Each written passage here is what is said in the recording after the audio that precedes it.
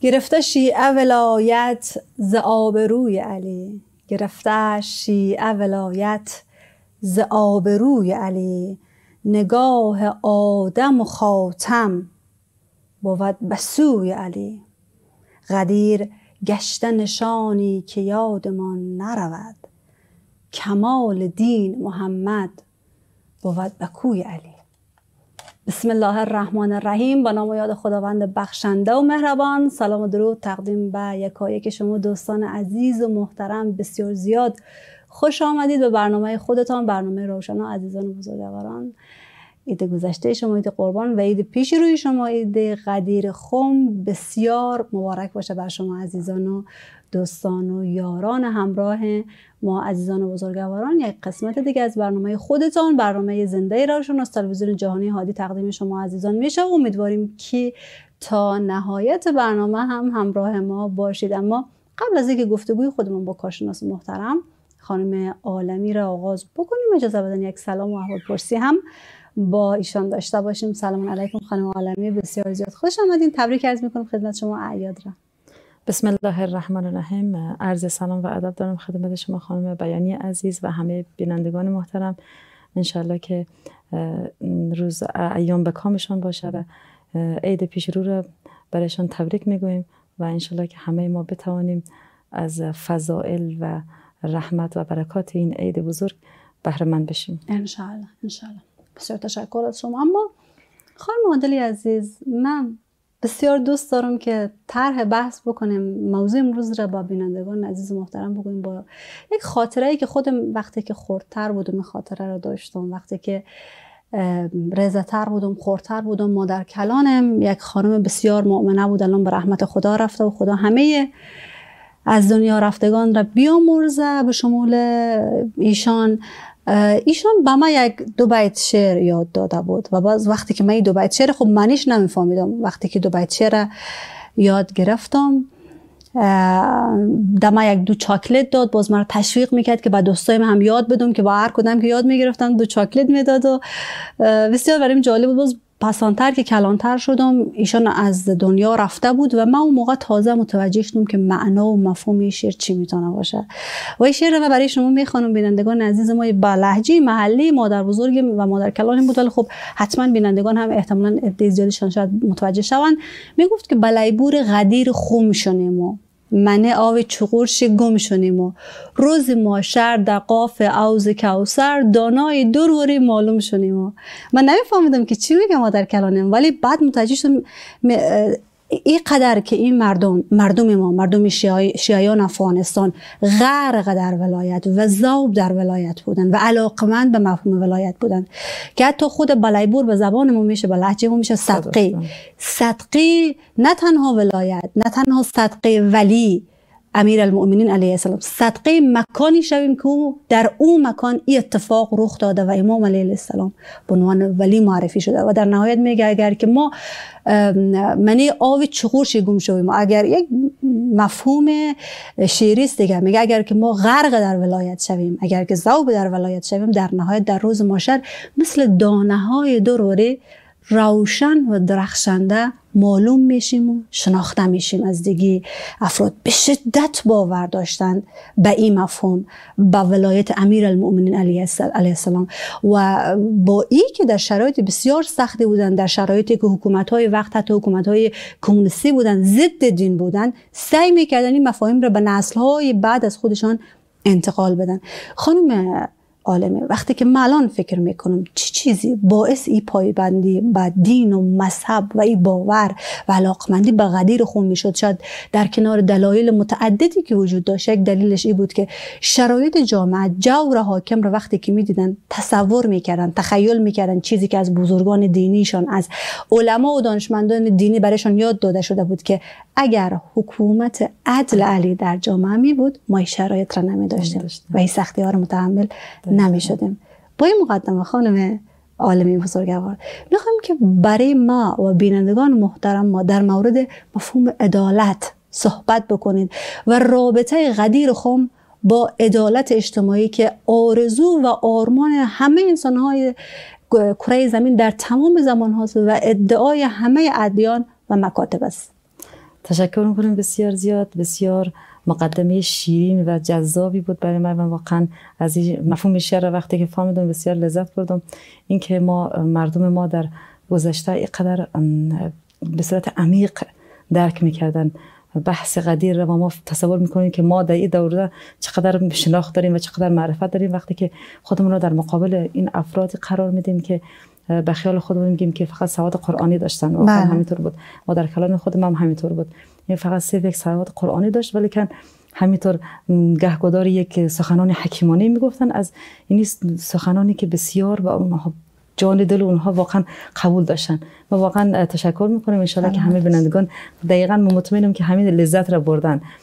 و همطور که شما فرمودین خانم بیانی عزیز بحث عدالت یعنی این عدالت جویی, عدالت جویی و عدالت خواهی و عدالت دوستی. دقیقا در جوامعی یعنی در بین یک افرادی اینها معمولا طرفدار داره.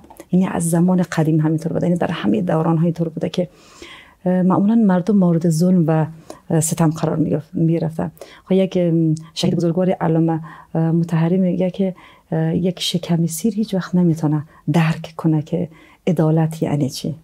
اگه کسی که در اوج رفاه و آسایش باشه نمی‌تونه عدالت را درک کنه کسی می‌تونه عدالت را درک کنه که خودش در واقعا خودش تحت ظلم و ستم بله. باشه و در شرایط اجتماعی بسیار سختی قرار بگیره همینطور است که واقعا مردم ما چقدر انقدر غیر از او محبت اهل بیت که در خب نسل به نسل به اینها منتقل شده بوده. همین بحث فطری بودن اینکه انسان فطرتا عدالت خواه هست این خودش هم وجود داشته و اینکه حکومت حضرت علی علیه السلام اگر در جای خودش اگر عدالت علوی از همون زمانی که حضرت رسول اکرم صلی الله علیه و آله و سلم از این دنیا رحلت فرمودن اگر این حکومت در سر جای خودش قرار می گرفت قطعا جامعه ای که ما می داشتیم اینطور نبود. همونطور که اگر در زمان حضرت سلیمان خب وقتی که شما می‌دونید که وقتی حضرت سلیمان پادشاه سرزمین یهود و اسرائیل بود تا زمانی که ایشان خودشون پادشاه بود که گل و گلستان بود همه چیز به جای خودش بود. اگر این حاکمیت و این پادشاهی به آسیب ابن برخیا می‌رسید که نرسید قطعا این دو تا سرزمین یهود و اسرائیل قدر گرفتار افراد ظالم و ستمگر نمی‌شد همینطور در دل تمام یعنی در مورد حضرت یوسف هم اینطور است. یعنی وقتی که حضرت یوسف اگر بعد از پیامبر وقتی که برادرانشون شنیدن که قرار است که حضرت یوسف پیامبر بشه بعد از پدر خب اینها حسادت اینا رو برنگ خب خب او اتفاقاتی که خب همه میدارن که بله. چه حوادثی پیش آمد. حضرت یوسف رو بچه انداختن و تبعید شدن. ایشان باز رفتن در مصر برای خودشون اونجا خداوند خب تقدیر که اونجا عزیز مصر شدن. ولی اکن ولی کن اگر همین اتفاق در خود مصر پیش می اومد اگر حضرت یوسف همینجا جانشین حضرت یعقوب علیه السلام قرار می گرفت. قطعا او سرنوشتی که خداوند برای حضرت یوسف رقم می‌زد برای مردم اسرائیل طور دیگه بود که اینطور نبود که خب مردم اسرائیل چهار نسل چهار پشت اینها ممنوع شدن از رفتن به سرزمین فلسطین که حالا می‌بینیم آثارش ما هنوز هم بله، می‌بینیم خب در دنیای امروز که چقدر اینها بالا طلبکار هستند در دنیا. خب اینها همه برمیگرده هم بحث عدالت هست. یعنی بحث عدالت خانم بیانی عزیز یکی از مباحثی هستش که در همه دوران ها وجود داشته و همه طرفدارش بوده و خود بیعدالتی خصوصا خود بیعدالتی ریشه بسیاری از مشکلات بوده. یعنی بسیاری از مشکلاتی که چه مشکلات مالی بوده چه مشکلات اجتماعی بوده مشکلاتی بوده که حالا ممکنه در سطوح خیلی بالاتر هم وجود داشته باشه. در از لحاظ قدرت و حاکمیت همه اینها برمیگرده به همین بحث بیعدالتی. نه اگر عدالت در یک جامعه اجرا بشه اگر عدالت وجود داشته باشه بسیاری از مشکلات حل میشه یعنی قابل حل هستن ولی که خب ما می‌بینیم که دیگه در جوامع هم همونطور که در طول تاریخ هم دیدیم و همینطور حال هم مشاهده می‌کنیم می‌بینیم که بیعدالتی خودش زمین ساز بسیاری از مشکلات هم اقتصادی است و حتی همین مشکلات اقتصادی که خب منشأش بیعدالتی است ممکن است بسیاری از مشکلات دیگری هم به جامعه به وجود بیاره. درسته پس شاید بگیم بزرگترین معضلی که در جامعه ممکنه وجود داشته باشه بزرگترین گم شده مردم جامعه می‌تونه که عدالت باشه بزرگترین معضل بی‌عدالتی است و در نهایت همه به دنبال این مسئله هستن. دقیقاً با بله. این اگر اجازه دادیم معذرت می‌خوام خانم یک میان برنامه رو ببینیم. تشکر از شما. بینندگان عزیز و محترم باز هم تبریک و تهنیت به مناسبت عید پیش رو عید قدیر خم عزیزان بزرگوار یک میان برنامه رو ببینیم و برگردیم در بزم ما بادی سبا با خود صفا ها وردن است. با خود نه تنها و صفا میرو وفا ورده است. میرو وفا را امره جود و سخا آورده است. جود و سخا را با دو ست شروع نوا آورده است این تو ها را سر به از بار ما آورده است و از بار ما و توفه بس دل رو با آورده است گفتا بدی از جان و دل این مجدرا بر مومنین. که نو روی زمین زیباتر از خلدی برینم خیلی ملک سوی سمک از امر رب العالمینم آیان بر تحنیت در نزد ختم المرسلین. با شادی و شور و شعف امرای خود روح الامینم حکمی ولی ولایی شیر خدا آورده است برخیز چون دین خدا امروز کامل می شود لطفش بر احوال یمم از میر شامل می شود کام دل دل دادگان یک بار آسل می شودم آزاد از ارنج و غم ایام اردل می شودم الیوم اکملت لکم از عرش نازل می شود حق و حقیقت چیره بر احکام باطل می شود چون از برای مؤمنین اقرح نما آورده است. جبریل گفتا بر نبی بر امر یک تاجیل کن. خم را به سرای صفام بار دیگر تبدیل کن. خیز و وسیع خیش را بر مؤمنان تعیین کن. من ما تامل لازه در کار یک تعجیل کن. با جانشینی علی اسلام را تکمیل کن کورا برای یاری.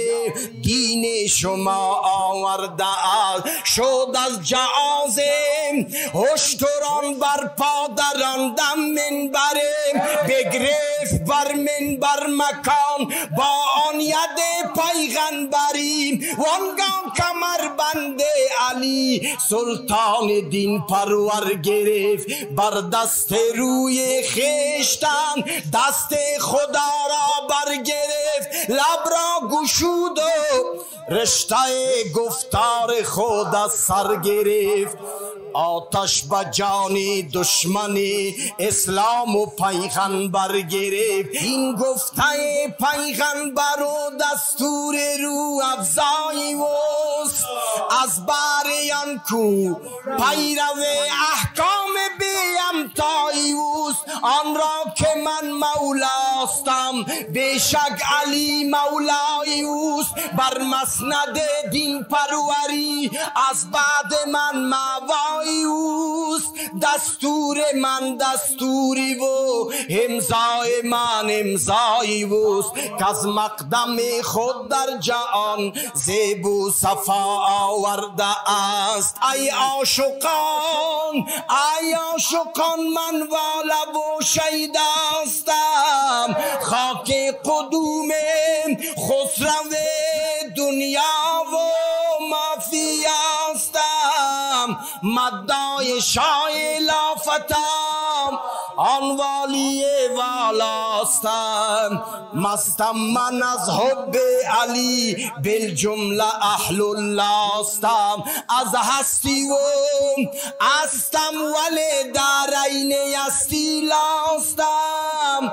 چون بلبل شیرین زبان اق زنان گویاستم چون حق ورا از بر ما مشکل گشا آورده است. از خدا و مصطفی در معرفت بیگانه نیست. هر کی گردی داشنایت یا امیر المومنین سلامات بینندگان عزیز و محترم بسیار زیاد خوش آمدید به برنامه خودتان برنامه روشن و عزیزانی که نو به جمع ما پیوستید. عید سعید قدیر خم را خدمت شما عزیزان تبریک و تهنیت عرض می‌کنم. میان برنامه که دیدید منقبت خانی بسیار زیبا در وصف امیر المؤمنین علی علیه السلام بود. امیدوارم که شما عزیزان هم مثل ما لذت برده باشین. عزیزان و دوستان همچنان گفتگو می‌کنیم با کارشناس محترم خانم عالمی بزرگوار خانم عالمی عزیز. بحث در باب عدالت اجتماعی و در واقع موضوع ما عدالت اجتماعی رابطه او با قدیر خم است خانم عالمی. شما در موردی صحبت کردید که عدالت اجتماعی بسیار مهم است در جوامع. از قدیم الایام هم همین رقم بوده. عدالت چیزی بوده که اگر که از جامعه حذف می شده منجر به آسیب های بسیار زیاد می شده و الان هم همین رقم است. دقیقا همینطور است و خب ما می‌بینیم که یکی از مباحثی که خب در بحث رسالت انبیا مثلا بحث شده هم بحث عدالت اجتماعی هستن. قطعا شکی نیست که خب یکی از وظایف مهم انبیا هدایت مردم بوده. هدایت مردم به سمت توحید و نبوت و معاد. ولی خب در کنار اینها در آیات قرآن بسیار بله. تاکید شده که یکی دیگر از وظایف انبیا بحث برقراری قسط و عدل بوده. یعنی پیامبران برانگیخته می‌شدن در کنار اینکه خب مردم را هدایت کنن. او عدالت را هم در جامعه برقرار کنن. همونطور که خب می‌بینیم که در برخی از پیامبران که خب حالا به صورت طولانی یا موقت اگر اینها حاکمیت را در دست داشتن مثل حضرت سلیمان علیه السلام حضرت رسول اکرم صلی الله علیه و آله و اینها وقتی که حاکمان زمان خودشون بودن به چه نحو عدالت را در بین مردم اینها میمدن اجرا می‌کردن بله. یعنی در کنار اینکه خب مردم را هدایت می‌کردن همطور که می‌بینید حضرت رسول اکرم صلی الله علیه و سلم وقتی که برانگیخته شدن خب چطور یک جامعه جاهلی عرب را خب هم به لحاظ فرهنگی ارتقا بخشید و هم اونها را خب به سمت بالا کشند و اونها را از او حالت جهل و بسیاری از مشکلات فقر فرهنگی و اقتصادی اونها را نجات داد. ولی در کنارش هم اون اصول حکومت حضرت رسول اکرم بحث عدالتی بود که بین فقرا و اشرافی بود که در جامعه عرب وجود داشت. یعنی اصلا چیزی که باعث جذابیت, اسلام می‌شد باعث می‌شد که همه گروه ها علاقه من شوند. همین مسئله بحث.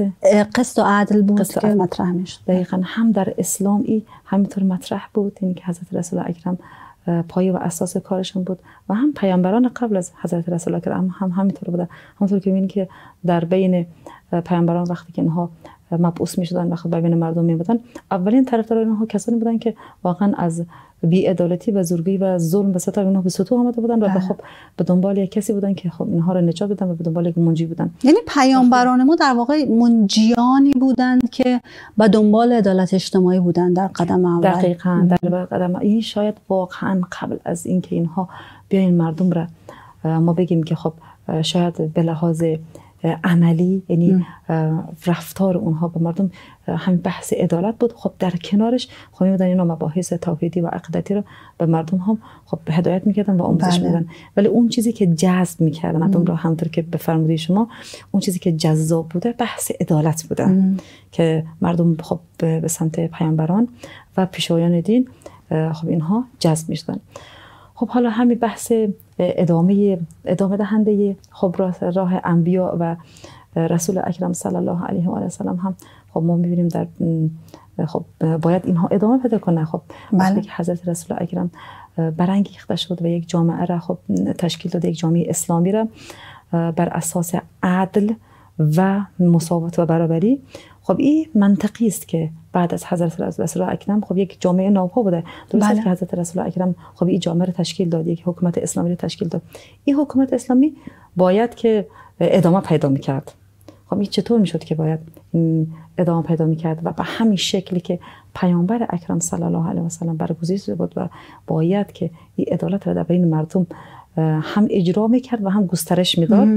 خب این قطعا با یک جانشینی می بود اه، بر حقی که دقیقا بتونه همین آموزه هایی که خب پیامبر به او باید آموزش داده باشه یک کسی بوده باشه که لحظه به لحظه تحت آموزش پیامبر بوده باشه و این و بتونه که همین عدالت را در جامعه اجرا کنه خب اینجا میشه که بحث پیوند ما می‌تونیم بگیم که قدیر هست و عدالت بله. چطور ما می‌تونیم بین واقعه قدیر که حالا من میگم که شاید واقعا قدیر یک واقعه نبوده. یعنی نه یک واقعه تاریخی بوده که بگیم در یک روز اتفاق افتاده نه یک واقعه جغرافی بوده که در یک مکان اتفاق افتاده. قطعا بحث قدیر یک بحثی یک واقعیتی که اصلا در دل تاریخ اسلام بوده. یعنی از زمانی که حضرت رسول اکرم صلی الله علیه و سلم وقتی که اسلام را میاد دعوت می‌کنه مردم را مردم عرب را و اولین کسی که خب به اسلام روی می آوره این حضرت علی علیه السلام بوده. از بله. همون لحظه خب شاید ما بگیم که همین واقعیت قدیر آره کلید خورد. کلید خورد دقیقا کلید خورده. و اینجا هست که همون بحث عدالت و قدیر می‌تونه با هم دیگه پیوند خورده. و ما می‌تونیم بگیم که در واقع خانم عالمی منظور شما است که آنی که پیامبر اسلام با ادعای حق برقراری قسط و عدل و به عنوان یک مصلح اجتماعی و یک پیامبر ظهور پیدا می‌کنه جامعه مد نظر و مطلوب و آرمانی خود را ایجاد می‌کنه برای ادامه پیدا کردن این روند باید که یک جانشین مصلحی را برای خودش معرفی کنه. و این جانشین مصلح بتونه این روند را همچنان ادامه, ادامه بده. پیدا کنه. بله. در واقع قدیر میشه گفت تضمین کننده ادامه پیدا کردن روند تحقق عدالت اجتماعی در جامعه اسلامی است. دقیقا بله. خانم. عالم معذرت می‌خوام یک میان برنامه رو ببینیم. باز در ادامه بحث در خدمت شما خواهیم بود. تشکر. بینندگان عزیز و محترم بعد از یک میان برنامه برمیگردیم.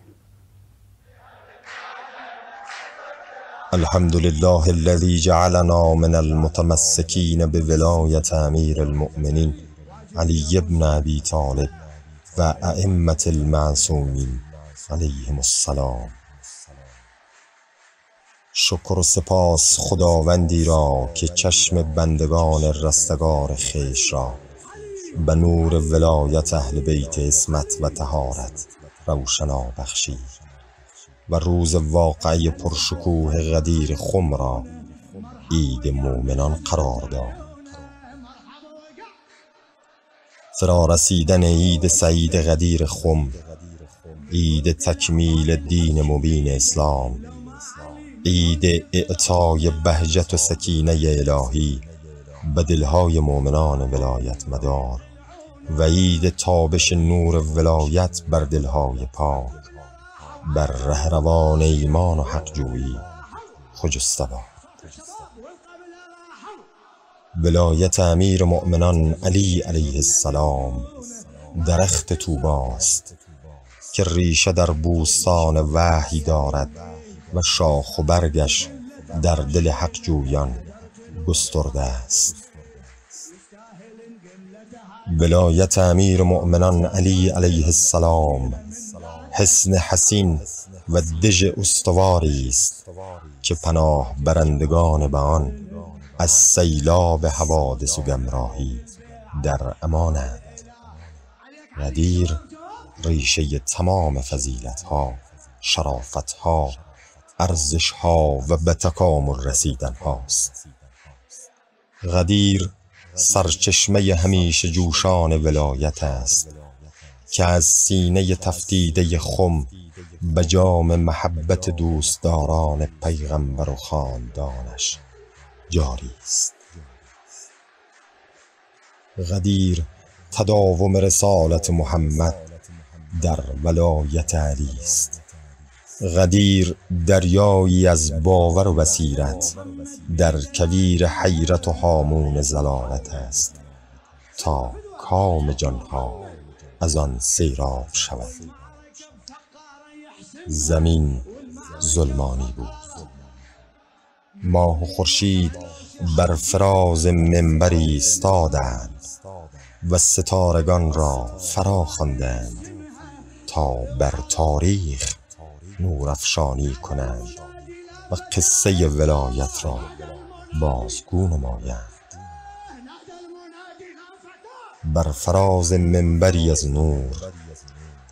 دستان علی در دستان مبارک پیغمبر بالا رفت و ندای آسمانی رسول مهربانی ها بلند شد. من کنت مولاه فهذا علی مولاه هن ای مردمان بدانید هر کس که من مولای اویم این علی مولای اوست عید غدیر روز شکرگزاری از اتمام ولایت و اکمال دین است.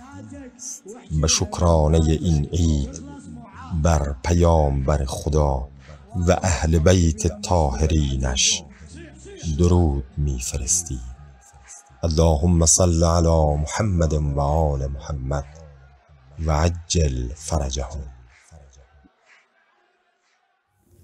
دوستان عزیز بینندگان عزیز و محترم برنامه خودتان برنامه زنده را شما رو تلویزیون جهانی هادی نگاه می‌کنید. باز هم تبریک و تهنیت به مناسبت عید گذشته عید قربان و عید پیش رو عید قدیر خم عزیزان و دوستان و بزرگواران. همچنان و گفتگوی خودمان با کارشناس محترم خانم عالمی ادامه میدیم. خانم عالمی عزیز و بزرگوار شما در مورد عدالت صحبت می‌کنید و در واقع موضوع برنامه عدالت در گفتمان غدیر هست. شما گفتید که غدیر خم واقعی غدیر خم در واقع ادامه دهنده عدالتی است که پیامبر ما حضرت محمد صلی الله علیه و آله و سلم در جامعه پیاده کردن در خدمت شما است بله و قطعا به عقل نزدیکتر هست که حضرت رسول اکرم قطعا و یقینا بعد از خودشون یک جانشین رو باید انتخاب می‌کردن و اگر انتخاب نمی‌کردن خب این دور از اون حکمت و بله. درایت و مدیریت حضرت رسول اکرم بوده یعنی با توجه به اون قدرت مدیریتی که ایشان داشتن قطعا باید یک کسی رو انتخاب می‌کردن که بعد از خودشان ادامه دهنده همین راه و خط باشه و او کس چه کسی بهتر از حضرت علی علیه السلام بوده باشه که از هر لحاظ مناسب بوده برای این منصب. چرا که خب می‌دونیم که حضرت علی علیه السلام اولین کسی بوده که یعنی از همون زمانی که اسلام پا گذاشت به عرصه ظهور در شبه جزیره عربستان. حضرت علی علیه السلام بود که در کنار حضرت رسول اکرم بود. بله. در تمام سختی ها در تمام جنگ ها یار و یاور حضرت رسول اکرم بودن. و ایشان خب حتی به لحاظ علمی هم نه فقط شجاعت یعنی هم شجاعت خب شجاعتیشون که زبان زد هست و چه مسلمانان اهل سنت و چه شیعه همه اینها خب معترف هستن به امر. و در کنار هم بحث علمی که حضرت علی علیه السلام داشتن. این حدیثی که حضرت رسول اکرم خب به جای مانده که میفرمایند که من دروازه من شهر, من شهر علم. و حضرت علی دروازه علی دروازه اون است. خب واقعا اوج توصیف علمی در مورد شخصیت حضرت علی علیه السلام بده و چی واقعا بهتر از این که خب کسی باشه که هم بتونه شجاع باشه هم با ترین باشه و هم واقعا عالم ترین شخص بله. باشه دیگه. قطعا علم هم نیازمند بوده و چه کسی عالمتر از حضرت علی علیه السلام بوده. و کمی کمی امروز هم خانم حالا ممکن افرادی باشن حقیقتا دلسوز جامعه باشن ولی چون علم اداره جامعه را ندارن وضعیت رو به یک سمتی می‌برن که جامعه دچار بسیار نابسامانی ها میشه. دقیقا هم داره بحث علم واقعا یک بحثی خب ما همطور می‌بینیم در بسیاری از مناسب یعنی واقعا تناسب جایگاه با او علمی که شخص داره خب اینها باید با هم تناسب داشته باشه اینها حضرت حضرت علی علیه السلام مناسب ترین شخص بوده بله. به این منصب واقعا از لحاظ علمی و از لحاظ این که بخوایم خب در قرآن هم بسیار مستندات اومده که حضرت بله. علی علیه السلام نه فقط همون بحث حالا بگیم که در یک روز عید قدیر بوده که در همون روز قدیر بوده که حضرت رسول اکرم در 18 ذوالحجه خب معرفی کرده این بارها بوده که به ولایت حضرت علی علیه السلام در آیات قرآن بالغ بر صدها آیه هست که بر امر ولایت تاکید داشته و خب مفسران اینها را تفسیر می‌کنن و میگن که خب اینها در شأن حضرت علی بوده یکی از اونها بله. هم آیه مائده سوره مائده هست. آیه 60 که وقتی حضرت رسول حضرت علی علیه السلام انگشتایشون را به یک فقیر در نماز در هنگام رکوع وقتی بخشش می‌کنن خب این آیه نازل میشه که معنیش میگه همانا ولی و صاحب اختیار شما منحصر است به خدا و رسول او و او کسانی که ایمان آورده و نماز به پا میدارن و زکات میدن در حالی که در رکوع هستن. خب این که واقعا مستاقش هم شیعه و هم سنی به این توافق دارن که این آیه برای حضرت علی علیه السلام خب نازل شده. خب این میگه که ولی شما چی هست خب این اگرچه خب در همه تفسیر ولی خب مشکل هم تفسیر ولی بله. هست که هر جا خب یک ماشیه خب یک تفسیر داریم و برادران احسلت یک تفسیر دیگه دارن. وگرنه که اینها همه از مستاقشان حضرت علی علیه السلام هستن. از این دست آیات بسیار زیاد هست در قرآن که وقتی که در کنار رسول وقتی میگه که رسول شما و ولی شما و این ولی را گفتن که حضرت علی علیه السلام هستن احادیث بسیار زیادی هم هستن حدیث منزلت هست حدیث سقلین هست حدیث قدیر هست. و اینها خب در جاهای مختلف حضرت رسول اکرم تاکید داشته که حضرت علی بعد از ما جانشین ما هستن. یک جایی می‌گفته که وقتی که حضرت ابراهیم یک جای خداوند حضرت ابراهیم رو می‌خواسته امتحان کنه بعد حضرت ابراهیم گفته که خب میشه که بعد از ما نسل ما هم خداوند گفته که خب تو حالا رهبر و امام مردم هستی. بعد میگه که خب همین منصب را برای زوری ما هم در نظر بگیر. و خداوند میگه که این منصب به کافران نمی‌رسن. به کافران نمی‌رسن یعنی به کسانی که مناسب نیست به این منصب به ظالمین نمی‌رسن به ظالمین نمی‌رسن و حضرت رسول اکرم میگه که خب این در ما همین دعا را ما همین درخواست را ما هم از خدا دارم. یعنی که به نسل ما برسه منظورش همین حضرت علی علیه السلام بوده. بسیار اینی پس, پس این منصب منصب امامت چیزی است که برخلاف ظلم عدل است دیگه. با کسی می‌رسه که او نفر عادل باشه. مثلا عدل در جامعه پیاده بکنه. پیاده کنه. بله. و فکر نمی کنم خانم عالمی کسی باشه در بین شیعه و سنی در بین دانشمندان دانشمندان و چی در بین مردم عوام و عادی که باور نداشته باشه به اینکه امام علی علیه السلام از لحاظ علم در سطح بالاترین سطح بودن از لحاظ عدالت از لحاظ شجاعت از لحاظ درایت و تدبیر از لحاظ ارتباط و رابطه عاطفی و نزدیکی که با پیامبر داشتن از لحاظ معنویت و از لحاظ معنویت بله از همه لحاظ. خب وقت چنین کسی هست عدل اقتضا می‌کنه که نمون نفر به عنوان حاکم جامعه اسلامی چرا که عدل همونطور که شما فرمودین هر چیزی که در جای خودش قرار بگیره و واقعا تناسب وجود داشته باشه بین اون نیاز جامعه و خود عدل. خانم عالمی اگر حالی که در جامعه در همون زمان پیامبر هم در مدت بسیار کوتاه امام علی علیه السلام به عنوان حاکم جامعه اسلامی فرصتی رو داشتند که حضور داشته باشند اما اگر در جامعه حکومت عدل علوی برقرار می شد و اگر همین الان هم جامعه می داشتیم که جامعه جامعه می بود با حکومتی با مختصات و ویژگی هایی که حکومت امام علی علیه السلام یک حکومت عادلانه می‌تونست داشته باشه چی ویژگی می داشت این که حضرت علی علیه السلام خب قطعا اگر در زمان خودش اگر بعد از حضرت رسول اکرم بلا فاصله نه بلا فاصل به حکومت می رسید و او فاصله 25 ساله آخونه می‌داد قطعا سرنوشت تاریخ تغییر تغییر پیدا که ما واقعا دیگه حال منتظر شاید حضرت صاحب الامر نبودیم. یعنی خود همین وقت میگن که یک بعد از در روایات زیاد آمده میگه که حضرت علی در جای خودش خب امیر المؤمنین می‌شد بعد از او قطعا حضرت امام حسن مجتبی به حکومت می‌رسه و امام حسین علیه السلام. و دیگه او واقعی عاشورا پیش نمی اومد و همون قیام. و حتی میگن که بعد در زمان امام کاظم هم همینطور بوده که اگر امام کاظم به حکومت می‌رسید خب شاید ما دیگه همون حکومت علوی خب تشکیل می‌شد و واقعا این مشکلات رو نمی داشتیم ولی خب اگر می بود قطعا اوضاع به شکل دیگه بود. وقتی که حضرت امیرالمومنین علیه السلام به حکومت رسیدن. در زمینه های مختلف خب ایشان اومدن تغییرات و اصلاحات رو خب در زمان خلیفه سوم خب یک سری اقتشاشات و آشوب های خود در جامعه رخ داد که مردم آمدن با حضرت امیرالمومنین بیعت کردن و خب ابتدا امیرالمومنین از بیعت سر دادن چرا که دو هدف داشتن یکی می‌خواستن که خب رضایت بیشتر مردم رو جلب کنن و دیگر به دنبال این بودن که خب افراد بیشتری با اطمینان بیشتری به سراغشان بیاریم که به اونها بیعت کنن که بعدا خب اگر افراد چالشگر نظیر طلحه و زبیر می‌گفتن که خب ما اومدیم به زور و اجبار اومدیم با تو بیعت کردیم بتونه جواب اونها رو بده که باز همین رو میگن که خب ما از هم اول قبول نداشتم و شما آمدین مرا. به زور به این منصب وادار کردین که بتونه اونجا یک صحبتی داشته باشن خب یک اصلاحاتی را در جامعه ایجاد کرد هم در مسائل حقوقی. ایشان آمدن بسر از او. چون بعد از پیامبر خب می‌بینید که خب یک اتفاقات خاصی در جامعه پیش اومد.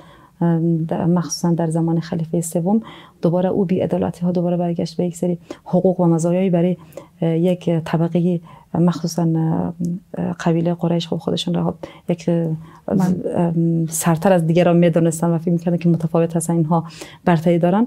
خب این حقوق یعنی همون نظام های قبلی قبیلوی برتری ها و اینها دوباره زمان قبل از پیامبر اونها همه باز دوباره برگشته بود. در مسائل خصوص مالی هم همینطوره که یه سری او در زمان قبل از حضرت علی علیه السلام خب یک ثروت های بادآورده و نامشروعی به دست آمده بود که اینها را خب باید یک اصلاحات حضرت رسول حضرت علی علیه السلام بر اونها انجام داد و حتی یک بخشش و عطایایی به افرادی را که خب اونها فکر خب به لحاظ موقعیت یک امتیاز یک هدایای داشته بخشش و عطای داشته که از اونها اونها هم رو استعداد کرد و حسن همه اونها رو برگردن بیت المال. بله. در مباحث خانم نظر خب کمتر از دو دقیقه هم فرصت داره و اینها خب به اصلاحاتی بود که حضرت علی علیه السلام به محض اینکه خب به حکومت رسید این اصلاحات را انجام دادی اصلاحات خب به مزاج بسیاری خوش نیامد و خب می‌بینید که چه حوادثی در زمان در همون پنج سال کوتاه حکومت حضرت علی علیه السلام پیش آمد. ولی کن بسیاری از بی ها با حکومت حضرت علی علیه السلام برطرف شد و اگر واقعا ما می‌بینیم که فعلا رنج بشریت چیز خانم بیانی عزیز دقیقا همین عدالت حضرت علی علیه السلام عدالت علوی هستن. اگر ما همین عدالت را که حضرت علی علیه السلام در مسائل حقوقی مالی و اجتماعی و سیاسی که در همون پنج سال اجرا کردن و چقدر قاطعانه و محکم ایشان اومدن با بی عدالتی مبارزه کردن. اگر همون را ما امروز می داشتیم بسیاری از مشکلات وجود نمی داشت. بله. یعنی واقعا بسیار از مشکلات در جامعه ما نمی داشتیم.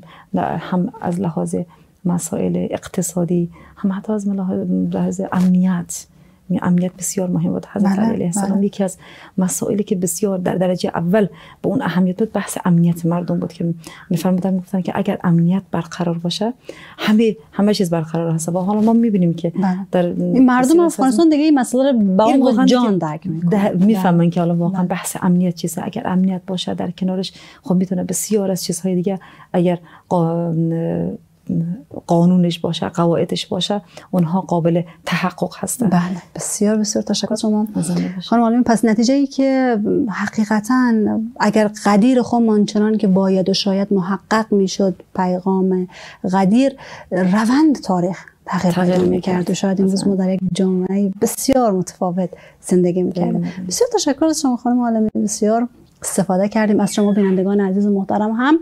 بسیار تشکر می‌کنم که تا این لحظه بیننده برنامه خودتان بودید عزیزان و بزرگواران با سلام و صلوات بر محمد و آل محمد. برنامه رو به پایان می‌بریم. امیدوارم همیشه خوب و خوش باشین. و امروی کاشناس محترم برای شما عزیزان. آرزوی روز خوش و وقت خوب داریم. خداوند یار و نگهدار شما باشه. اللهم صل على محمد وآل محمد. اللهم صل على محمد وآل محمد وعجل فرجهم